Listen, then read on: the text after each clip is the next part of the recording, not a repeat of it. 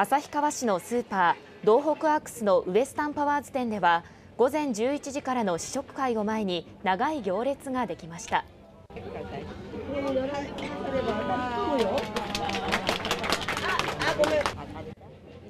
来店客に振る舞われたのはおとといの初競りでスーパー側が史上最高値1玉75万円で競り落としたデンスケスイカ。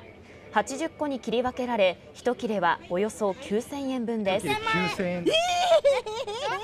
初めて食べますごちそうさまです。一生のうちこんな